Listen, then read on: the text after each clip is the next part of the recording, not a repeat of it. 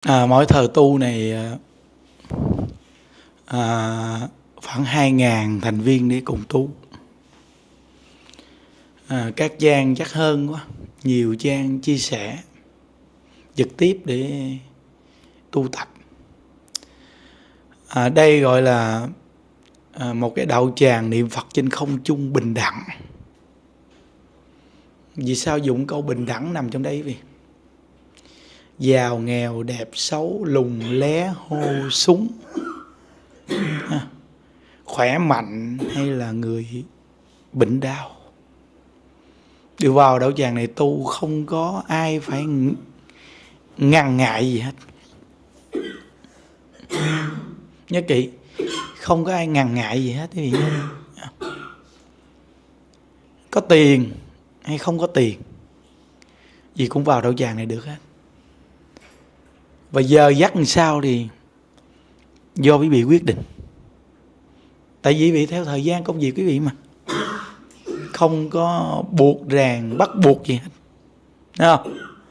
Đó. Đây là cái rất quan trọng quý vị. Ừ. nên ờ, những đức có nói là đây là đạo tràng niệm phật thù thắng đặc biệt mà bình đẳng. Nhớ nghe. Thù thắng đặc biệt mà lại bình đẳng bà đạo tràng này không dính vào cái chuyện cúng dường gì hết. Nên à, trong thời mạt pháp này lại xuất hiện một đạo tràng à, gọi là có cũng như không gần cũng như xa. Rất là lạ kỳ quý vị. Vì ngồi suy nghĩ đi. Có cũng như không gần cũng như xa. Thấy thì gần kế bên. Nào gặp nhau nè giống như phật tử bình dương hay là nhiều vị uh, cô hường uh, từ thiện đồ này nọ thu đồ ấy. Nên từ nữa đó, đó. Rồi nhiều người đọc tên hết không được. Nên giống như gần cái bên mà lại là xa không biết ở phương trời nào tùm lum tùm la. À, đó là cái đặc biệt của cái đạo tràng trên không trung này và không có sự quản lý về cái việc mà tập thể. Và bất cứ người nào đến thì cũng không có sự quyên góp cúng dường tiền bạc hết luôn. Nên nhìn đức có nói là đạo tràng niệm phật à, trên không trung cực kỳ thù thắng cái đạo tràng này nè. Và cái đạo tràng này về sau sẽ rất nhiều người giảng sanh. Chắc chắn là cái đạo tràng này phật a di đà sắp xếp cái đạo tràng này phật a di đà sắp xếp cho chúng sanh. Chúng sanh bận biểu trong thờ mạt pháp. Nhớ nghe quý vị kỹ nha. Phật a di đà sắp xếp cho cái đạo tràng này cho chúng sanh bận biểu trong thờ mạt pháp. Nên những đức khi ở trong ngôi tam bảo gì thường làm một cái gì là có một cái tập thể. Anh em những đức ngồi chung những đức bồi dưỡng tư tưởng nên sự thành công của những đức là do bồi dưỡng tư tưởng mà ra. Nên sự thành công đều là phải có con người bên cạnh. Và có những cái tư tưởng của con người chung tay thành công. Nhớ. Còn nếu như một con người này muốn làm một cái chuyện gì đó mà con người này không có ai hết, thì không bao giờ làm được một trăm phần trăm. Khi như đức làm cư sĩ cũng vậy. Thì những đức gặp những người có tư tưởng, những người có tâm quyết tu. Đó nghĩa là khi những đức gặp những người đó là những đức sẽ bồi dưỡng tư tưởng, một ý chí, một phương hướng, một tư tưởng sống. Và sống làm sao cho ý nghĩa? Sống làm sao lợi ích cho con người? Lợi ích cho đất nước, quốc gia, lợi ích cho chúng sanh? Thì quý vị coi cái đạo tràng trên không chung của mình, người mà hiểu thì vị biết. Vì sẽ biết được cái đạo tràng này nó có một cái, có một cái sự lợi ích cực kỳ lớn cho về cái mặt tâm linh của một quốc gia nó rõ ra là toàn thế giới, quý vị. Cái sức tâm linh mà của một cái đạo tràng mà niệm phật, những cái thờ này mà hai ngàn người cùng niệm Phật, hai ngàn là hơn hai ngàn con người đó, quý vị. hai ngàn thành viên là hơn hai ngàn con người. Mà đạo tràng này lại không có sự quản lý về cái việc nhân sự, không dính vào vật chất, không có dính vào tiền bạc dù người như thế nào vẫn vô đạo tràng này tu tập được. Đây là một đạo tràng cực kỳ thù thắng. Chưa từng thấy. Quý vị cũng chưa từng thấy cái đạo tràng nào mà lạ thường như cái đạo tràng này xuất hiện ở cõi đời này. Thật sự quý vị luôn. À nếu như nhà đức có những cái hoạt động như là này kia đồ pháp hội đồ này kia thì có khi còn dính tiền bạc. À, nhưng mà bây giờ nhà đức chỉ có một mình hoặc hai anh em gì thì những đức đâu có dính tiền bạc gì đâu, mà những đức tới giờ tu thì bật lên. Chúng ta cùng tu chung nên đây gọi là một đạo tràng bình đẳng đặc biệt. Dù vì có giàu cỡ nào bị đẹp cỡ nào, hay bị xấu cỡ nào bị hô cỡ nào bị lùng cỡ nào bị mập cỡ nào, thì cái chuyện đó của quý vị, cái chuyện của ở nhà quý vị. Quý vị có giàu thì quý vị, cái cuộc sống quý vị bị nghèo thì cuộc sống của quý vị. Quý vị tu thì cái đó bị lợi ích, quý vị không tu thì chuyện của quý vị. Như đức không có quản lý cái chuyện đó của quý vị. Mà như đức có cái quyền gọi là chúng ta cùng tâm sự để động viên nhau, để thấy cái sự lợi ích của niệm phật và sự lợi ích của sửa đổi lỗi lầm. Đó là điều nhân đức có quyền nói quý vị có quyền nghe, hay quý vị có quyền không nghe. Người có quyền nghe vì cứ ngồi nghe vì không thích nghe hoặc có công chuyện gì vì có cứ đi làm công chuyện của chính quý vị. Vì những đức đâu có quản lý nhân sự. Thấy đặc biệt chưa? Đây là một cái đạo tràng cực kỳ đặc biệt, chưa từng thấy, mà lại xuất hiện trong cái thờ mạt pháp. Bởi vị thấy cái thờ mà Phật pháp chúng ta đang có sự ảnh hưởng cực kỳ lớn luôn. Mà lại tự nhiên nó trỗi dậy cái đạo tràng này, quý vị thấy Phật pháp hay không? Tại vì cái giáo pháp của Đức Phật còn tới 9.000 năm nữa đặng quý vị. Còn tới 9.000 năm nữa đặng. Nên trong cái si nó có cái thịnh nằm bên trong. Quý vị để ý chỗ này nghe. Trong cái si nó có cái thịnh. Thì quý vị thấy cái thời cuộc hiện tại thì Phật pháp mình đang bị ảnh hưởng cực kỳ lớn. Đúng không? Đó. Nhưng mà tại xuất hiện một cái đạo tràng này bây giờ là để cho con người ta phải nhìn nhận và thấy ra rằng cái đậu tràng này là cái đậu tràng quá đặc biệt. Đó.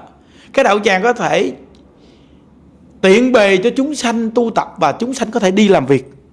Chúng sanh không phải mất thời gian, không bỏ công ăn việc làm, không đi tập trung tùm lum người, không có tập trung một chỗ quá đông người, mà là cái số lượng hơn 2.000 con người này họ rải ra trong nước, ngoài nước, nheo nhóc hết chứ và những đức cũng không có một cái hoạt động gì, kêu gọi gì, làm phật sự gì.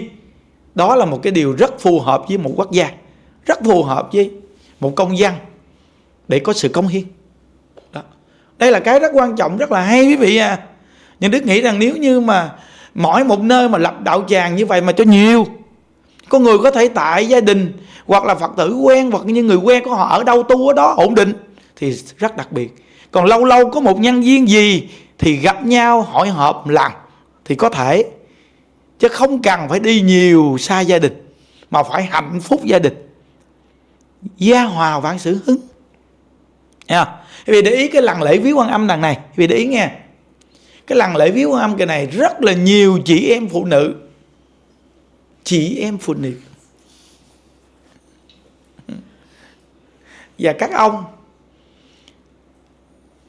không có bị trở ngại cái việc khi đi tu về mặt lớn mặt nhỏ của gia đình, rất nhiều gia đình trong thời địa, cái lần lễ dưới quan âm này đã hưởng được điều đó. Có những người người ta bình luận như đức coi như thấy rõ ràng.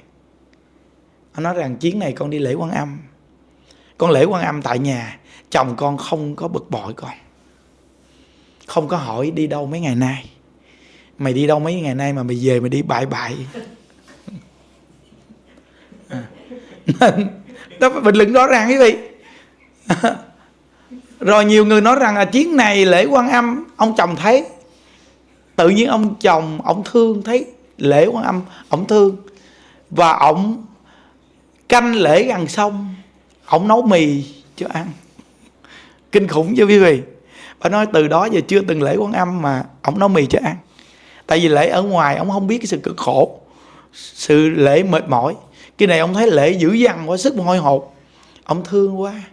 Ông nấu tô mì với pha ly cà phê để sẵn. Thấy kinh chưa? Nó thấy hạnh phúc ờ, cái sự hạnh phúc đặc biệt vô cùng quý vị. Nó cái sự hạnh phúc này nó quá đặc biệt quý vị. Nên những đức nói là đạo tràng này là một đạo tràng cực kỳ đặc biệt, phù hợp trong cái thời đại 4.0 cái thời đại bận biệu cái thời đại mà con người người ta phải lo làm việc để tìm kiếm cuộc sống mà nơi nào cũng có thể là đạo tràng này, nó di động, nó không chết cứng, nó không bị dính chỗ nào cả. Chỉ cần một chiếc điện thoại thôi, chỉ cần một chiếc điện thoại thôi thì đạo tràng này đã đến với quý vị rồi. Đặc biệt chưa? Chỉ cần một chiếc điện thoại thôi là đạo tràng này đến với quý vị rồi. Còn tại gia đình, nếu đầu chịu đầu tư thì một cái tivi thì đúng là quý vị, quá tuyệt vời. Nhưng đức nói quý vị phải đầu tư. Tại gia đình nếu mà đủ duyên, một cái tivi và một cái, hai cái lo hay một cái lo thiệt hay, dám đầu tư quý vị biết rằng cái lo mà chỗ mà những đức tu là cái lo này nó sử dụng tính ra khoảng 8 năm nay. Cái bộ lo, hai cái lo thôi. Hai cái lo này khoảng 8 năm nay sử dụng nó nhỏ xíu cực kỳ hay luôn. Hay lắm luôn á. Nghe cái âm thanh niệm phật của mình mà nghe nó du dương, nó hay vô cùng. Quý vị biết rằng nghe, cái tiếng niệm phật của người ta cực kỳ hay mà bị vị đưa vô cái lo họ ẹt những đức niệm giống hịch bị số mũi thôi chịu thua luôn quý vị nghe cái tiếng niệm phật như số mũi, làm sao mà mà tu nó nhiếp tâm? Thấy không? Quý vị nghĩ đi. Cái tiếng người ta còn hay hơn ca sĩ nữa mà vậy đó. Mà đưa ra mà cuối cùng mà thành như ngạt mũi, ọt ạt ọt ạt ọt ạt là thua luôn. À. nên nó cái này là quý vị phải đầu tư á. Để đầu tư làm sao mà về cái mặt tâm linh của nội tâm nó phát triển được đầu tư làm sao mà cái mặt tâm linh của nội tâm nó phát triển được? Mà cái mặt tâm linh của nội tâm mà phát triển được thì quý vị sẽ đến công ty xí nghiệp. Hay quý vị làm bất cứ một cái việc gì cho xã hội đất nước, đều tốt hết. Vì cái mặt tâm linh của nội tâm nó tốt. Nên quý vị biết rằng nghe Phật giáo có một vai trò cực kỳ quan trọng cho một quốc gia. Vì bồi dưỡng cho con người ở trong quốc gia đó được về cái mặt tâm linh. Họ sáng, họ vui, họ an lạc, họ không hận thù để trong tâm thì con người đó công dân đó sẽ tốt. Quý vị thấy người ta làm cực khổ người ta đi tìm cái chỗ nào người ta làm cái gì đó để cho người ta được an tâm. Thấy không? Cho người ta được vui. Con này Phật pháp có một nền giáo dục mà giúp cho con người ta có thể an tâm có thể vui có thể có phương hướng và có tư tưởng. Vì nghĩ nó đặc biệt cỡ nào chưa? Nó quá đặc biệt. Quý vị biết rằng là mà cái đạo tràng cái không chung này giờ quý vị vô bị tu thôi quý vị thấy nó, nó tuyệt vời và nó an lạc rồi thêm nó cho mình một cái phương hướng tương lai. Cái tương lai thì hiện tại vì được an lạc, được vui là tương lai thù thắng nhất. Và cái phương hướng tuyệt vời nhất là cái cuối cuộc đời chúng ta lại phải bình an, nhẹ nhàng nhắm mắt su tay. Cái này là những cái tin chắc rất nhiều người luôn. Dù không có tu nhiều, người ta vẫn mong cuối cuộc đời của ta sao mà chết nhẹ nhàng, ít bệnh hoạn. Nhắm mắt xuôi tay vì công nhận không? Nhiều người ta nói nhắm mắt phải xuôi tay nó tại vì sao? Vì mỗi ngày quý vị được bồi dưỡng cái sự an lạc của nội tâm. Nên quý vị đã được cởi mở, sống trong sự thương yêu, sự lo lắng, quý nhau nhưng mà lại không chấp nhất vào cái cảnh không đá đổ hoàn cảnh, mà cũng không chấp hoàn cảnh. Đến một ngày nào chia tay thì chúng ta lại nhắm mắt và xuôi tay. Thì thấy mỗi ngày quý vị lễ lễ vật chưa bị xuôi tay đúng không? Xá này xuôi tay bị xuôi tay. Thì khi quý vị đi bị xuôi tay còn ai mà đi mà xá mà xuống gì? Thì khi bị đi là bị gì chắc chắn luôn. Nhớ kỹ nghe. Nhưng đức nói với vị nghe mỗi ngày phải bị cười nhiều khi bị đi bị sẽ cười. Còn ai mà câu mau khó chịu săn si sằng sộ khi đi cái mặt xấu quá. Đó ờ, nên, nên mình nói mình nói với ông chồng hay bà vợ mà khó khăn mình nói nè. Mình nói thí dụ như anh anh em có một bí quyết mà giúp cho anh lúc nào cũng dễ thương mà đẹp trai. À, mình, mình mình nói chuyện mà với, với người sống gia đình phải ngọt nói chuyện ngọt. Ai mà không thích ngọt con gùi mà nó còn thích ngọt như con người. Thì mình phải làm sao nói ngọt cho người ta thấy thương mình. Niệm phật mà nói, nói chuyện ngọt mà niệm phật này du dương thì giờ mình phải nói chuyện du dương đấy chưa nó con gùi mà nó còn thích ngọt nên nó chết trong đường. còn mình thì không có ác ý hại ai mình phải nó ngọt. Nó nói ờ bà có cách nào? Nè anh đừng có săn si nữa. Anh đừng có sằng sổ khó tính nữa nghe không? Nè, anh mà vui vẻ quan hệ nha là anh là người yêu dấu trong lòng em. Ông nghe ông rung quá chứ ông ác nổi cục cục cục cục cục cục chịu không nổi luôn nên từ từ đó mà nói vị biết rằng là anh giống như khỏe là vui mà khỏe. Anh mà khó chịu là anh bệnh đó. Em có muốn anh bệnh đâu không? À, nên bệnh nó tốn tiền quá được cái gì đâu á. Nên từ nơi đó mà mình nói chuyện người ta nghe tự nhiên. Không mà khi mình gằn gũi nghe mình nói chuyện người ta người ta nghe đó. Chứ không phải chuyện giỡn đâu quý vị đừng có ngại. Cái người niệm phật cái người tu mình mà nói chuyện mà ngại là quý vị nói mới vô nhưng những đức mà trước mặt quý vị mà nói chuyện ngại sao vậy? Đức nói đây. Sao nói? Nhưng đức phải tự nhiên quý vị mới thấy dễ thương. Thì tự nhiên nó mới dễ thương. Những đức nói cái người nào mà nói chuyện mà không tự nhiên quý vị có đẹp cỡ nào, quý vị cũng nhìn vô duyên. Vì nó không có tự nhiên, nó kỳ cục dữ lắm. Nên mình phải tự nhiên. Cái người mà tự nhiên dù họ có xấu đi chăng, họ hô cái nào quý vị cũng thấy, ồ, dễ thương gì đâu nó lạ kỳ như vậy đó quý vị à vì sẽ không bao giờ thấy cái xấu của họ? Vì thấy họ rất dễ thương.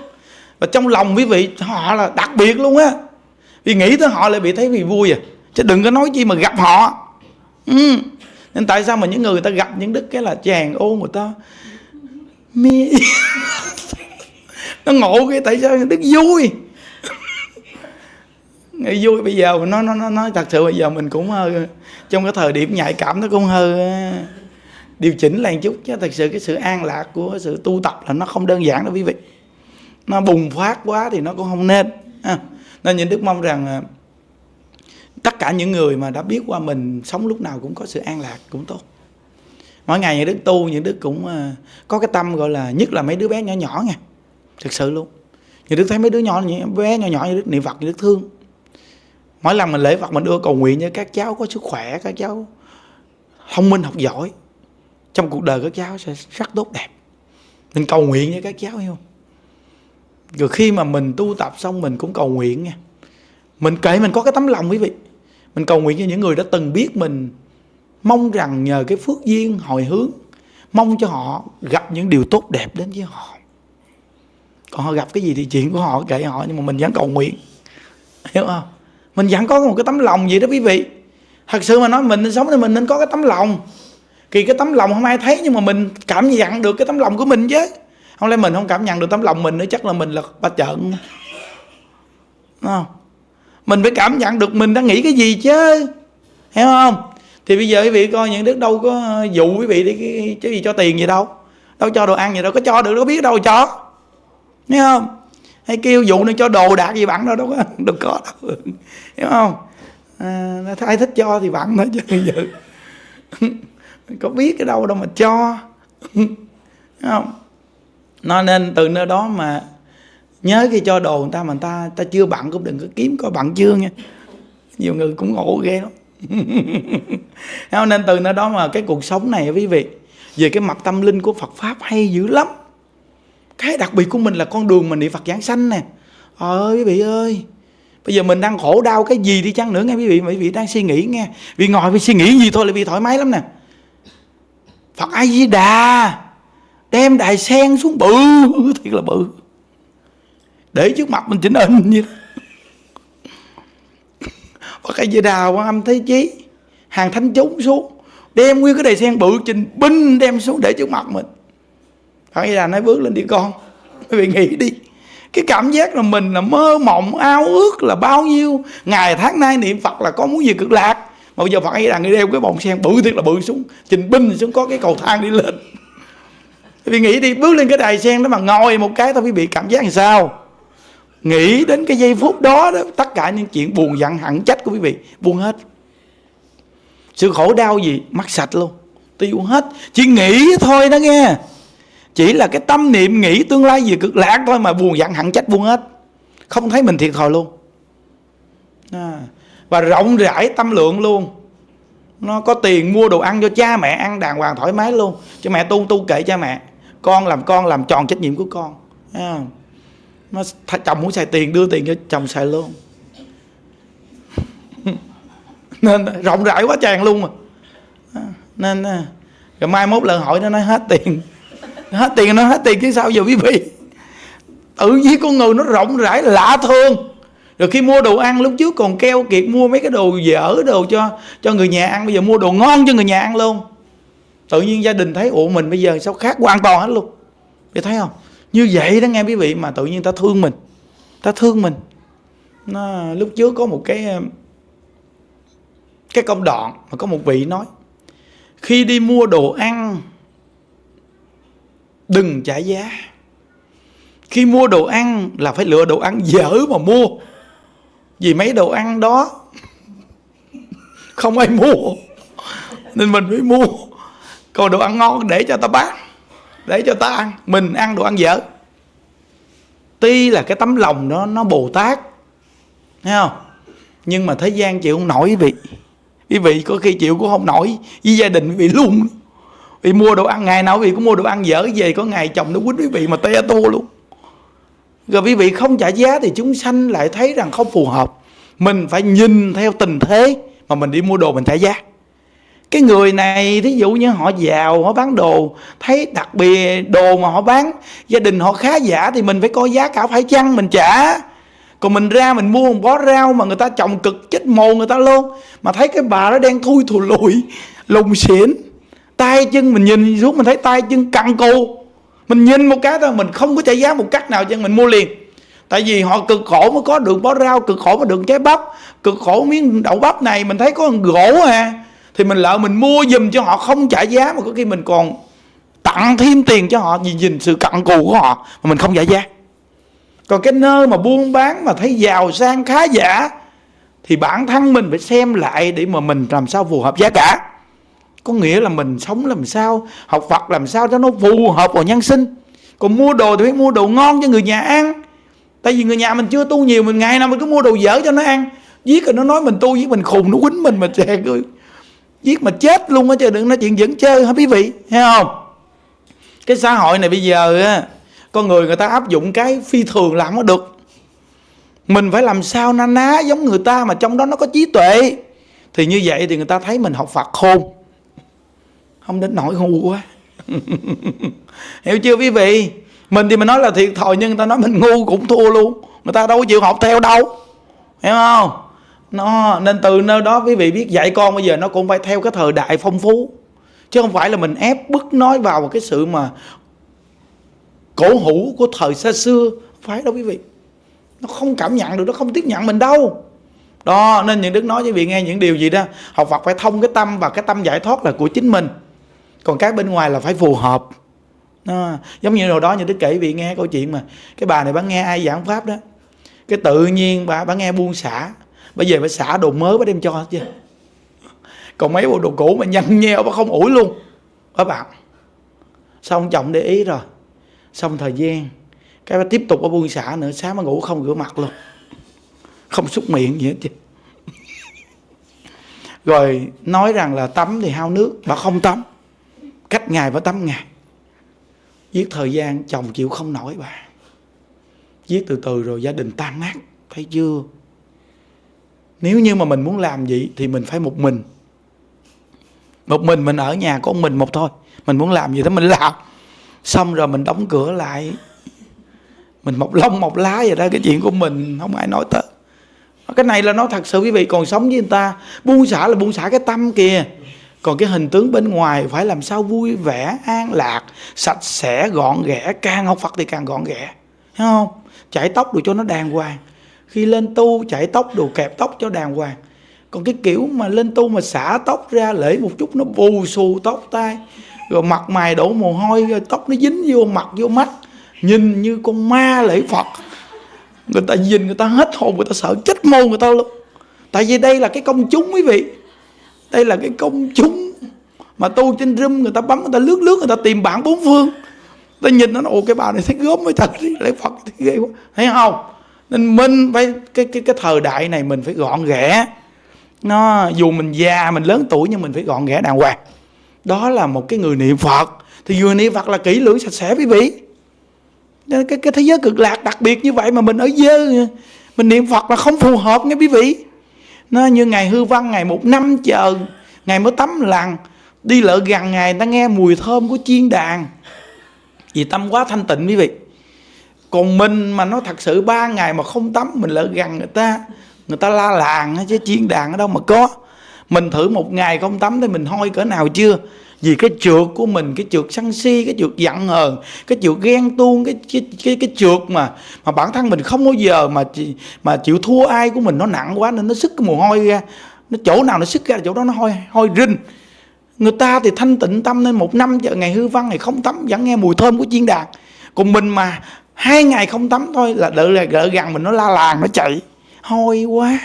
Mình khác người ta nghe quý vị nên từ nơi đó mình phải làm sao tu tập, gọn ghẽ, sạch sẽ, và siêng tu, và đừng có buồn giận ai để trong tâm. Tha thứ cho người, buông là buông cái tình chấp của nội tâm. Còn cái bên ngoài với cuộc sống tự nhiên, mình sống cho thật là tốt. Đó là đúng đúng rồi đó quý vị, không có sai đâu nghe. Thôi chúc quý vị an lạc. Ai với đạo phật. Ai với đạo phật. Chúng ta hẹn gặp nhau cực lạc quý vị ơi. Ai với đạo phật. Ừ. Ai với đạo phật ai với đạo phật ai với đạo phật